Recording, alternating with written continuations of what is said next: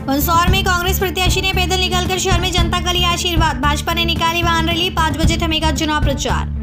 मंदसौर में कांग्रेस प्रत्याशी विपिन जैन ने गांधी चौराहे से पैदल निकलकर आम जनता का आशीर्वाद लिया और मतदान करने की अपील की गई है। यह पैदल रैली शहर के गांधी चौराहे से निकलकर युवराज क्लब घंटाघर होते हुए पशुपतिनाथ मंदिर पहुँची, जहाँ पशुपतिनाथ की शिवना नदी के अंदर उतरकर धर्मपत्नी के साथ मिलकर पूजा अर्चना की और संकल्प लिया कि जनता ने मुझे चुना तो सबसे पहले मैं शिवना नदी का उद्धार कराऊँगा। इसके साथ ही भ्रष्टाचार और अन्य मुद्दों को लेकर अपनी आवाज़ बुलंद करूँगा। बताया कि आज मंदसौर शहर में महा जनसंपर्क अभियान चल रहा है और जनता से आशीर्वाद प्राप्त किया जा रहा है। ग्रामीण क्षेत्र से शहरी क्षेत्र में पहुँच कर एवं उन्हें आश्वासन दिया जा रहा है कि विकास कार्य किया जाएगा।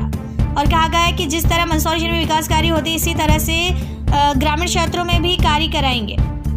इसी के साथ भारतीय जनता पार्टी के कार्यकर्ता नेता एवं भाजपा जिला अध्यक्ष के नेतृत्व में आज भाजपा प्रत्याशी यशपाल सिंह सिसोदिया के समर्थन में भव्य वाहन रैली महाराणा प्रताप से महाराणा प्रताप चौराहे से निकाली, जो कि राम अन्य प्रमुख चौराहे पहुँची। और आम जनता से मतदान करने की अपील की जा रही है। कांग्रेस एवं भारतीय जनता पार्टी के दोनों नेता ही अपनी अपनी सरकार बनाने के दावे कर रहे हैं। और देखना ये होगा कि 17 नवंबर को जनता किसको मतदान करेगी। मंदसौर कलेक्टर एवं जिला निर्वाचन अधिकारी द्वारा लगातार ज़िले की जनता से अपील की जा रही है कि सभी लोग मतदान करें। तीन तारीख को रिज़ल्ट आएँगे, उसके बाद ही पता लगेगा कि मध्य प्रदेश में किसकी सरकार बनेगी। और कौन विजय प्राप्त करेगा? पर कांग्रेस और बीजेपी के बड़े दिग्गज नेता से लेकर अन्य नेता अपने अपने प्रत्याशी को जिताने के लिए एडी चोटी का ज़ोर लगा रहे हैं। और इस बार मतदाता भी खुलकर सामने नहीं आ रहा है कि किसको मतदान करना है। अब देखना ही होगा कि मतदाता के मन में क्या चल रहा है। देखिए, आज चुनाव प्रचार का आखिरी दिन है। पाँच बजे चुनाव प्रचार खत्म हो जाएगा। आज हमने मंदसौर में महा जनसंपर्क रखा और हमने भगवान पशुपतिनाथ जी के दर्शन कर और एक संकल्प लिया था कि हम जन, मंदसौर की जनता का आशीर्वाद रहा तो शिवना मैया का शुद्धिकरण करेंगे। और आज आखिरी दिन है तो पूरा जनसंपर्क हमने यहाँ पर ख़त्म किया और पुनः संकल्प को दोहराया कि मंदसौर की जनता ने आशीर्वाद दिया।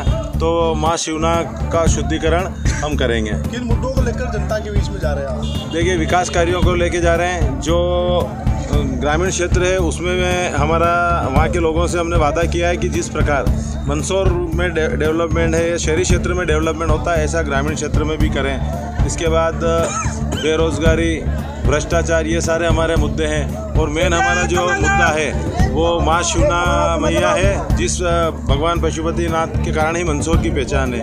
और सबसे पहले, अगर जनता का आशीर्वाद रहा तो तीन तारीख को पुनः कॉलेज ग्राउंड के बाद यहाँ से हम उसकी शुरुआत करेंगे। भारतीय जनता पार्टी के कार्यकर्ताओं का उत्साह और हमारी जो रणनीति रहती है प्रचार का अंतिम दिन है।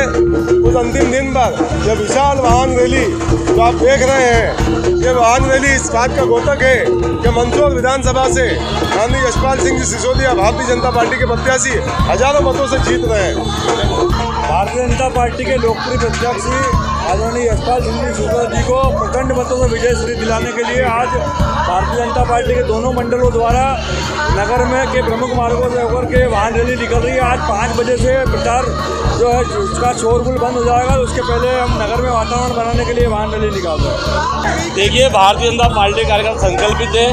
संकल्पित है जीत की और उसी जीत की अग्रिम शुभकामना बाज़ार से देने के लिए आज कार्यकर्ता विशाल वाहन रैली रूप में नगर में निकले हैं। मंत्रों की जनता का आशीर्वाद लंबे समय से भारतीय जनता पार्टी को मिला है। आगे भी मिलेगा। कार्यकर्ता में उत्साह है। जो भारतीय जनता पार्टी कार्यकर्ता आगे बढ़ रहे हैं।